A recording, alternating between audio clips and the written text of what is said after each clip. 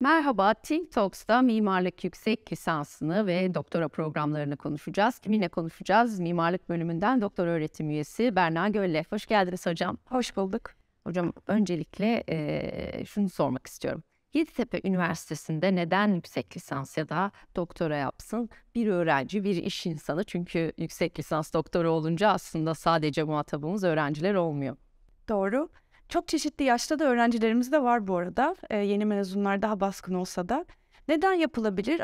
İlk akla gelen tabii ki akademik kariyer düşünenler için her zaman. Ama e, aslında dünya biraz da değişiyor. Dolayısıyla çok çeşitli araştırma projelerinde çalışacak kişiler de mimarlık, kentle ilgili, bazen yönetişimsel konularla ilgili de kariyer düşünen insanlar da olabilir. Aslında bu programları seçmeyi tercih ed- ediyorlar. Biz de seviniyoruz açıkçası. E, farklı ekoller, ya mimarlıkta aslında her yaratıcı alanda olduğu gibi e, çok çeşitli ekol var. Bir de biz teknik, yani mimarlık alanı için konuşuyorum şimdilik. E, teknik bir alan da bir yandan olduğumuz için, ciddi anlamda teknik, hesap vermesi gereken gerektiğinde bir alan olduğumuz için e, aslında ekollerin farklı, çok keskin diyebiliriz.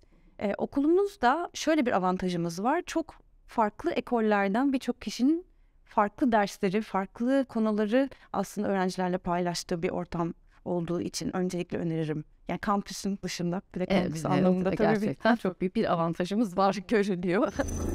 Hocam mimarlık olunca e, tabii daha çok tasarım odaklı oluyor. Dolayısıyla da en önemli şeylerden biri bakış açısı. Aslında diğer üniversitelerden ayıran şey de galiba bakış açısı oluyor değil mi?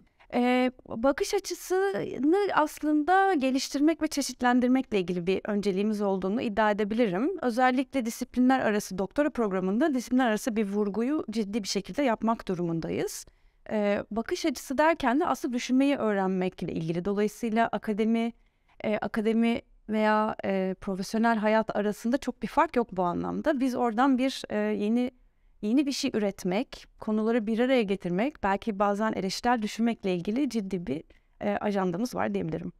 Peki hocam yapılan araştırmalardan, projelerden, e, belki konferanslardan biraz bahsedelim mi? E, en yakında Mayıs ayında ilkini gerçekleştireceğimiz bir uluslararası mimarlık alanında bir konferansımız var. Mimarlık Çalışmaları, Architectural Studies isminde. Zaten doktora programımızın ismi de aynı zamanda bu. Ee, onu bekliyoruz. Ee, onun dış tabii yurt dışından da gelenler oluyor. Ee, konuşmacılar var. Keynote dediğimiz e, konuşmalarını yapanlar var. Onu heyecanla bekliyoruz. Ee, onun dışında tarih alanında ve koruma alanında başka konferanslarımız e, olmaktaydı ve önümüzdeki senede olacak. Devam edenler var. Ee, uluslararası workshop ya da e, çalıştay diyebiliriz belki tam Türkçesi. E, workshoplar yapıyoruz. Geçtiğimiz yaz e, Writing Urban Places, e, kentsel alanları, kentsel yerleri e, yazmak üzerine bir Çanakkale'de uluslararası e, atölye çalıştay gerçekleştirmiştik gibi. Çok da tabii aktif yayınlar e, söz konusu oluyor. Bazen hocalar ve öğrencilerin birlikte çalıştığı, bazen sadece öğrencilerin e, hocalardan uzaktan destek alarak yap, yaptığı çok fazla yayın var. Aktif bir bölüm diyebiliriz. Konferansın ama sürekliliği olacak değil mi hocam? Hedef Evet. E, Bayern'in iki, iki yılda bir e, Evet, öyle düşünüyoruz, böyle kurguladık.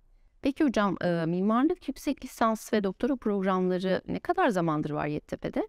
Ee, yüksek lisansımız epey eski, 21 sene olduğunu e, biliyoruz. E, tezli ve tezsiz diye iki ayrı program bu arada söz konusu. Özellikle akademik kariyer düşünenler için tabii ki tezli çok daha büyük bir öncelik. E, ama daha pratiğe yönelen e, kişiler için tezsizi öneriyoruz. Doktora programımız da 4 yıldır aslında daha yenice e, mimarlık çalışmaları dediğim gibi ismini de altını aslında çizmemin sebebi gerçekten de çalışmaların çeşitlendirilmesiyle ilgili bir öncelik olmasıyla olmasıdır. Peki hocam genellikle şey mi oluyor yani akademisyenlik için mi oluyor yoksa aslında mesleğinde az önce söylediğimiz gibi o tasarım odaklı olduğu için daha bakış açısını genişletmek için e, iş dünyasından da çok e, ilgi oluyor mu? E, oluyor aslında yani akademik çalış aslında biraz karar veremeyenler de oluyor açıkçası ben de onlardan biriydim. E, bazen insan kendini bunları yaparken de tanıyor. Her zaman herkes e, e, ne istediğini bilerek e, girmiyor. Dolayısıyla bu anlamda da çeşitliliğin olduğu bir e, ortamda olmanın bence öğrenci ve öğrenci adaylarına çok büyük faydası var. E, biraz kendileri keşfediyorlar. Çoğu kişi bu arada ikisini birden götürüyor mimarlık alanında. Bundan da bahsetmek mümkün. Yani hem profesyonel kendi ofisi olan hem de akademik kariyerde bazen dışarıdan bazen de kadrolu olarak bir e, gelecek kuranlar var. ilgi duyanlar mutlaka bunu biliyordur ama bu da benim e, kendim için sorum gibi olsun mesela. Tezsiz size gelip dediğiniz gibi aslında akademik kariyer yapmaya karar verip tezliğe dönme gibi bir imkan Var. var değil mi? Tabii ki var. Tabii ki var. Ee, onun bazı koşulları e, farklılaşıyor. Tabii ki orayı kapatacak dersler veya programları yapıyoruz ve kesinlikle mümkün tabii ki.